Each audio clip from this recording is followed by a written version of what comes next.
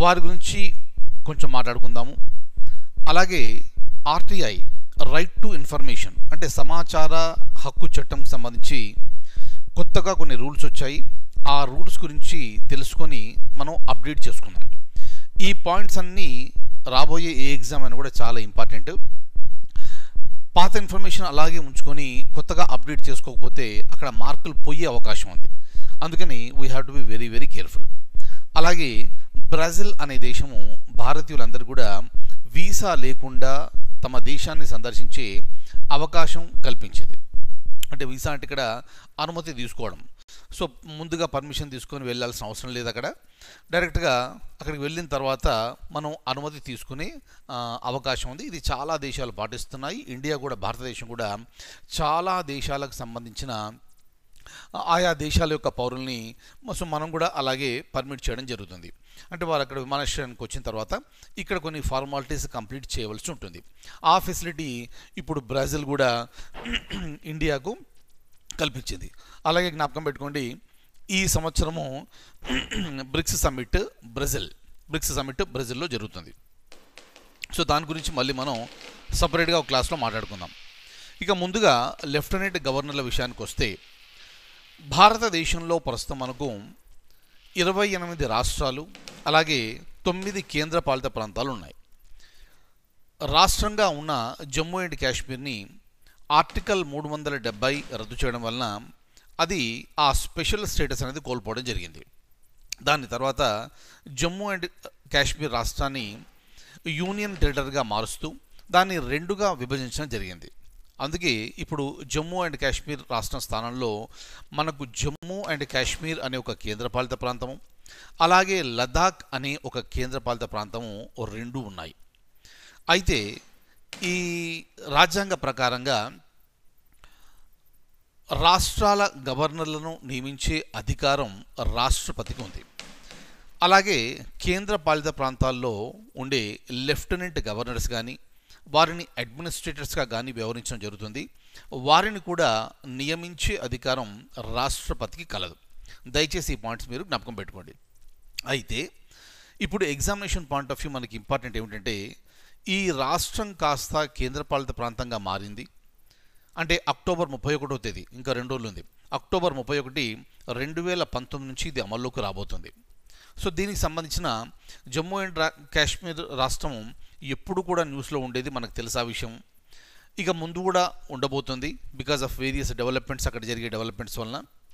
కాబట్టి జమ్మూ అండ్ కాశ్మీర్ రాష్ట్రానికి జమ్మూ అండ్ కాశ్మీర్ కేంద్రపాలిత ప్రాంతానికి లెఫ్టినెంట్ గవర్నర్గా నియమింపబడ్డ మొదటి వ్యక్తి ఎవరు?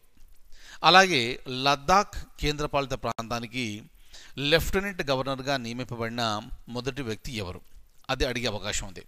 అలాగే ఇంకో విషయం జ్ఞాపకం పెట్టుకోండి. జమ్మూ అండ్ కాశ్మీర్ గురించి మనకు స్వాతంత్రం వచ్చినప్పటి నుంచి కూడా అది న్యూస్లో ఉండింది. ఆ కారణాలన్నీ కూడా మీకు తెలుసు. అయితే ఇక్కడ మనకు కావాల్సింది ఏమిటంటే ఆర్టికల్ మూడు వందల డెబ్బైని ఏ వ్యక్తి జమ్మూ అండ్ కాశ్మీర్ గవర్నర్గా ఉన్నప్పుడు రద్దు చేయడం జరిగింది. అంటే స్పెషల్ స్టేటస్ని ఎప్పుడు రద్దు చేయడం జరిగింది. అలాగే జమ్మూ అండ్ కాశ్మీర్ రాష్ట్రానికి చిట్ట చివరి గవర్నర్ ఎవరు? రైట్? అదొక క్వశ్చన్ వచ్చే అవకాశం ఉంది. అలాగే ఏ వ్యక్తి గవర్నర్గా ఉన్నప్పుడు జమ్మూ అండ్ కాశ్మీర్ని కేంద్రపాలిత ప్రాంతాలుగా విభజించడం జరిగింది అని ఒక క్వశ్చన్ వచ్చే అవకాశం ఉంది. కాబట్టి ఆ పేర్లు మూడు పేర్లు మనకు చాలా చాలా ఇంపార్టెంట్. అలాగే ఈ కేంద్రపాలిత ప్రాంతాలు ఎప్పటి నుంచి అమల్లోకి వస్తాయి? ఆ డేట్ కూడా మనకి ఎగ్జామినేషన్ పాయింట్ ఆఫ్ వ్యూ చాలా చాలా ఇంపార్టెంట్. మీరందరూ కూడా దయచేసి ఈ విషయాలన్నీ మీరు జ్ఞాపకం పెట్టుకోవాలి. రైట్? ఇప్పుడు చూడండి నేను ఈ డాక్యుమెంట్ చూపిస్తున్నాను మీకు. ఒకసారి చూడండి. అక్టోబర్ ఇరవై ఐదు రెండు వేల పంతొమ్మిదిన రామ్నాథ్ కోవింద్ భారత రాష్ట్రపతి జమ్మూ అండ్ కాశ్మీర్ గవర్నర్గా ఉన్న సత్యపాల్ మాలిక్ని గోవా రాష్ట్రానికి గవర్నర్గా ట్రాన్స్ఫర్ చేయడం జరిగింది. చూడండి ఒక విషయం జ్ఞాపకం పెట్టుకోండి ఇక్కడ. ఈయన జమ్మూ అండ్ కాశ్మీర్ నుంచి ఏ రాష్ట్రానికి బదిలీ చేయబడ్డారు అని అటువంటి క్వశ్చన్ వచ్చే అవకాశం ఉండదు. కానీ ఏ వ్యక్తి రాష్ట్ర గవర్నర్గా ఉన్నప్పుడు జమ్మూ అండ్ కాశ్మీర్ని విభజించడం జరిగింది అని ఎగ్జామినేషన్ పాయింట్ ఆఫ్ వ్యూ మనకి చాలా ఇంపార్టెంట్ అది ఎవరు అంటే సత్యపాల్ మాలిక్. అలాగే జమ్మూ అండ్ కాశ్మీర్కి మొట్టమొదటి లెఫ్టినెంట్ గవర్నర్ ఎవరు అంటే అక్కడ చూడండి రెండో లైన్లో పే పేరు ఉంది అక్కడ గిరీష్ చంద్ర ముర్ము. గిరీష్ చంద్ర ముర్ము అనే వ్యక్తిని lieutenant governor of Jammu and కాశ్మీర్గా నియమించడం జరిగింది. అలాగే కేంద్రపాలిత ప్రాంతమైన లద్దాఖ్కు లెఫ్టినెంట్ గవర్నర్గా రాష్ట్రపతి రామ్నాథ్ కోవింద్ రాధాకృష్ణ మాథూర్ అనే వ్యక్తిని నియమించడం జరిగింది. Very very very important. So నేను చెప్పిన పాయింట్స్లో మీకు సత్యపాల్ మాలిక్ అనే పేరు ఒకటి ఇంపార్టెంట్. గిరీష్ చంద్ర ముర్ము అనే పేరు ఇంపార్టెంట్. అలాగే రాధాకృష్ణ మాథుర్ అనే పేరు కూడా ఎగ్జామినేషన్ పాయింట్ ఆఫ్ వ్యూ చాలా చాలా ఇంపార్టెంట్. అలాగే ఏ తేదీన ఏ తేదీన కేంద్ర ప్రభుత్వం జమ్మూ అండ్ కాశ్మీర్కి సంబంధించిన ప్రత్యేక ప్రతిపత్తి హోదాను తీసివేయడం జరిగింది ఉపసంహరించుకోవడం జరిగింది. ఆన్సర్ వచ్చేసి ఆగస్టు ఐదు రెండు వేల పంతొమ్మిది. అలాగే కొత్తగా ఏర్పడ్డ రెండు కేంద్రపాలిత ప్రాంతాలైన జమ్మూ అండ్ కాశ్మీర్ మరియు లద్దాఖ్ ఎప్పటి నుంచి ఏ తేదీలో నుంచి అవి అమల్లోకి వస్తాయి? అంటే ఆన్సర్ వచ్చేసి అక్టోబర్ ముప్పై ఒకటి రెండు వేల పంతొమ్మిది. అక్టోబర్ ముప్పై ఒకటి రెండు వేల పంతొమ్మిది. ఇంకొక టూ డేసే ఉంది. దయచేసి జ్ఞాపకం పెట్టుకోండి ఇది. Right very very very important clear ఇంకా ఇక నెక్స్ట్ పాయింట్కి మనం వస్తే ఇది ఒకటి examination point of view very very important మనం సమాచార హక్కు గురించి చాలాసార్లు మనం మాట్లాడుకోవడం జరిగింది. దీన్ని రైట్ టు ఇన్ఫర్మేషన్ యాక్ట్ అని మనం అంటాం. రెండు వేల ఐదవ సంవత్సరంలో డాక్టర్ మన్మోహన్ సింగ్ ప్రధానమంత్రిగా ఉన్నప్పుడు ఈ చట్టాన్ని పాస్ చేసి సమాచార హక్కు అనేది ప్రజలందరికీ ఒక హక్కుగా ఒక న్యాయపరమైన హక్కుగా కల్పించడం జరిగింది. సో కాబట్టి ఈ ఆర్టీఏ గురించి ఆర్టీఏ యాక్ట్ గురించి మనం ఎప్పుడు కూడా పేపర్లో ఎప్పుడు చూస్తూనే ఉంటాం. అయితే దీనికి సంబంధించిన కొన్ని రూల్స్ని ఇటీవల మార్చడం జరిగింది. ఆ రూల్స్ ప్రకారంగా ఏంటంటే అక్కడ ఈ ఇక్కడ ఉండే కేంద్ర సమాచార ఈ వ్యక్తులు కానివ్వండి సెంట్రల్ ఇన్ఫర్మేషన్ కమిషనర్ అయినా లేకపోతే మిగతా ఇన్ఫర్మేషన్ కమిషనర్స్ అయినా. దయచేసి జ్ఞాపకం పెట్టుకోండి ఈ సెంట్రల్ ఇన్ఫర్మేషన్ కమిషన్ అనేది ఒక వ్యవస్థ. దానికి నాయకత్వం వహించేది సెంట్రల్ ఇన్ఫర్మేషన్ కమిషనర్ మిగతా సభ్యులు ఎవరైతే ఉంటారో వారిని ఇన్ఫర్మేషన్ కమిషనర్స్గా వ్యవహరించడం జరుగుతుంది. అయితే ఇప్పుడు వారి యొక్క పదవి కాలం ఇప్పటివరకు ఐదు సంవత్సరాలుగా ఉండేది. వారి పదవి కాలం ఇప్పటివరకు ఐదు సంవత్సరాలుగా ఉంటే ఆ పదవీ కాలాన్ని ఇప్పుడు కాస్త తగ్గించి మూడు సంవత్సరాలకు చేయడం జరిగింది. అంటే రేపు పొద్దున మీకు ఎగ్జామినేషన్లో కనుక ఈ ఆర్టీఐలో ఉండే అంటే సెంట్రల్ ఇన్ఫర్మేషన్ కమిషన్లో ఉండే ఇన్ఫర్మేషన్ కమిషనర్స్ యొక్క పదవీ కాలం ఎంత అని అడిగినప్పుడు దయచేసి మీరు ఐదు అని రాయకూడదు. ప్రస్తుతం అది మూడు సంవత్సరాలు మాత్రమే. ఐఎమ్ క్లియర్ సో ఈ పాయింట్స్ అన్నీ కూడా మనం ఎప్పటికప్పుడు అప్డేట్ చేసుకుంటుండే మనకు మార్కులు వస్తుంది. మార్కులు వస్తేనే మనకు జాబ్ వస్తుంది. రైట్ సో ఇప్పుడు చూడండి. అలాగే వీళ్ళ శాలరీస్ కూడా చూపిస్తాను నేను. ఇప్పుడు సెంట్రల్ ఇన్ఫర్మేషన్ కమిషనర్ ఆయన శాలరీ వచ్చి రెండు లక్షల యాభై వేలు అయితే ఇక మిగతా సమాచార ఉన్నారు కదా ఇన్ఫర్మేషన్ కమిషనర్స్ ఉన్నారు కదా వారి శాలరీస్ వచ్చేసి రెండు లక్షల ఇరవై ఐదు వేల రూపాయలు. రైట్ రెండు లక్షల యాభై వేలు రెండు లక్షల ఇరవై ఐదు వేల రూపాయలు. సో చూడండి డాక్యుమెంట్ ఓపెన్ చేస్తున్నాను. క్వశ్చన్ కనిపించింది మీకు ఇప్పుడు ఆన్సర్ తెలుసు. ఆన్సర్ వచ్చేసి ఐదు సంవత్సరాలు. సారీ మూడు సంవత్సరాలు. ఐదు సంవత్సరాల నుంచి కాస్త దీన్ని మూడు సంవత్సరాలకు తగ్గించడం జరిగింది.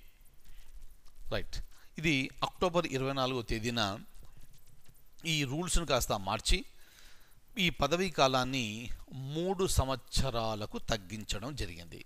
రైట్ అలాగే సెంట్రల్ ఇన్ఫర్మేషన్ కమిషనర్ శాలరీ రెండు లక్షల యాభై వేలైతే మిగతా ఇన్ఫర్మేషన్ కమిషనర్స్ యొక్క శాలరీ రెండు లక్షల ఇరవై ఐదు వేల రూపాయలు. Okay next. చూడండి ఇది ఆల్రెడీ ఇప్పుడే చెప్పుకున్నాను నేను. Which of the following South American country decided to allow decided to allow Indians without visa answer ఏమిటి? ఆన్సర్ ఈస్ బ్రాజిల్ రైట్ అలాగే చూడండి ఇప్పుడు మనకు ఆల్రెడీ నేను అనౌన్స్ చేశాను. Like APPSC group one group two అలాగే ఎస్ఐ బ్యాచ్లకు మనం డిస్కౌంటెడ్ ప్రైజెస్లో మనం క్లాసెస్ ఇవ్వడం జరుగుతుంది. దయచేసి ఈ అవకాశాన్ని అందరూ ఉపయోగించుకోండి అని కూడా చెప్పడం జరిగింది. సో మళ్ళీ ఒకసారి రిమైండర్ అక్టోబర్ ముప్పయో తేదీ వరకు మాత్రమే ఈ ఫెసిలిటీ అవైలబిలిటీ ఉంది. రైట్? సో ప్రస్తుతం మనకు ఈ group one APPSC prelims mains అన్నీ కలిపి పదిహేను వేల తొమ్మిది వందల రూపాయలు.